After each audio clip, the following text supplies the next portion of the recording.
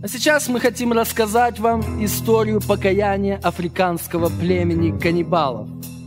Проповедь Евангелия – дело не всегда безопасное, особенно в диких джунглях, так что приготовьтесь к жутким переживаниям.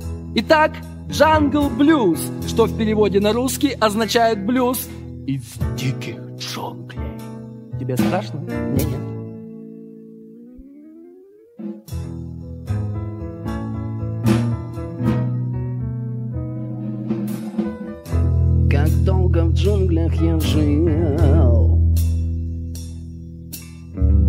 Как долго в джунглях я жил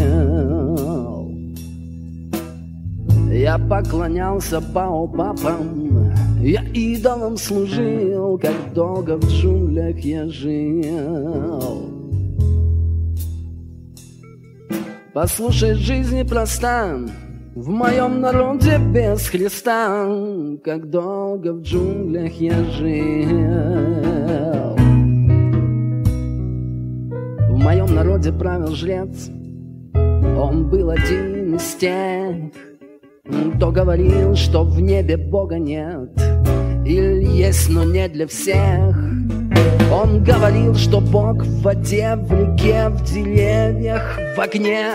Он говорил, что Бог в лягушке, Он на самом дне. Но он говорил, нам не услышать Его голоса самим.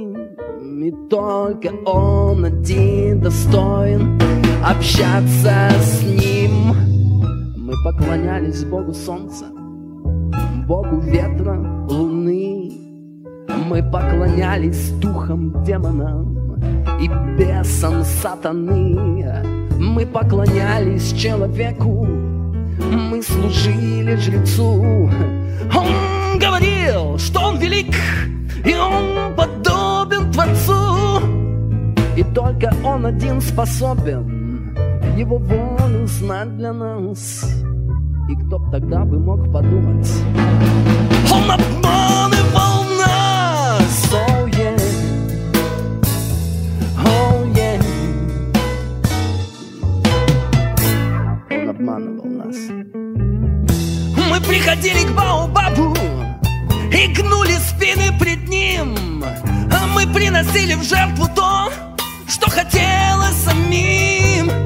Жрец говорил, что ой, если очень нам его упросить, то он великий и способен чудеса творить. Давать огонь, давать воду, и если кто из нас слаб, то помогает.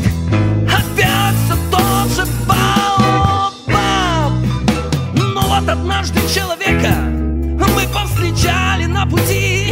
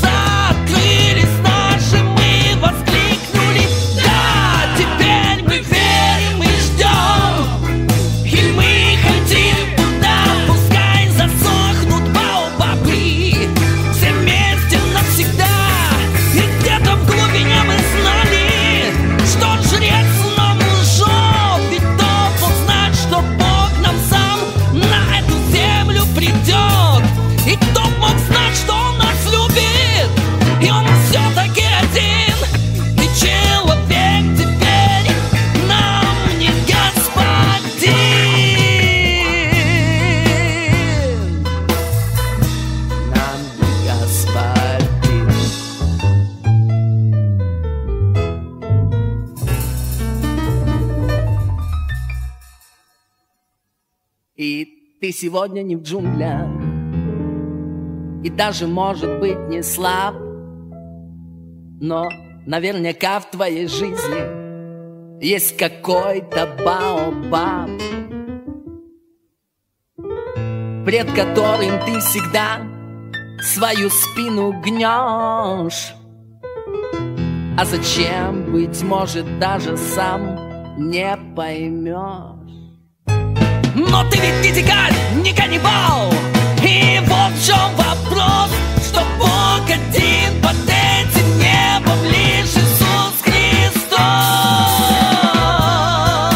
Ну послушай, ну ведь ты же цивилизованный человек. Бог один под этим небом. У тебя, наверное, где-то пылится Библия Бог один под этим небом. И она говорит, что Спаситель один. Лишь Иисус